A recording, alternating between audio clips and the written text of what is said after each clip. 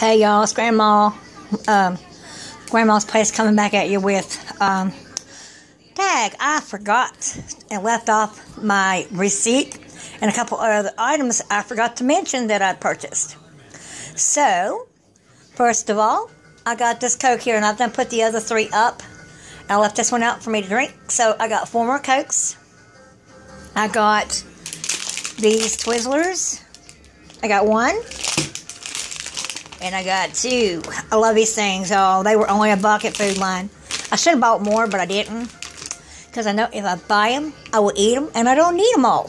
So, that being said, let's show the receipt here of what I spent at Food Lion, what I shouldn't have spent.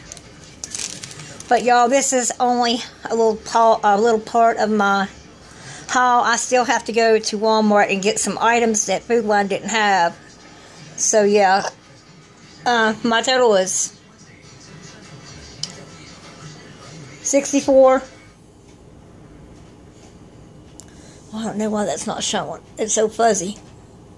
Maybe because my phone battery is dying. But anyway, it was 64. Oh, come on, phone. I'll be glad when I get my camera. We ordered us a video camera. 6437, y'all. I don't know if y'all can see that, but it's a little fuzzy because my phone's dying. So, y'all, this is what I spent at Food Lion. And I probably shouldn't spend it, but I did it anyway. And there's my Mr. Frosty the Snowman cookie jar. I put him on a table so when I want a cookie and I'm on my computer, I can just reach over and have a cookie. Woohoo! Anyway, y'all have a good night and a better day tomorrow, and we will talk to y'all later.